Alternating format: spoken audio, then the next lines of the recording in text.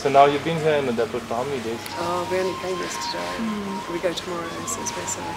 Yeah. And is, is you liking it? Is it good? Yeah. It's very good. Lovely I- I- view I- across yeah, the it's stunning. Actually. Yeah, Yeah, no, it's, it's very good. It's more simple than this one, but it's um, it, it's lovely. Yeah. Great. And and you're comfortable with the stay. The rooms are good. The food is good.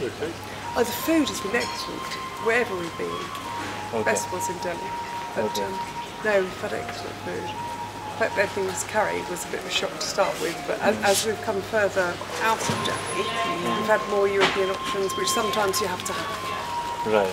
Right. not used to having curry all the time. all the time. So not too spicy, I hope, because then No, they no, they do they do mild, and so they've always been very very good. But the food has been excellent for everything. So all the best, and you. um, hope you guys come back here. Oh, we will, and good luck with your wedding. Thank you. Thank you.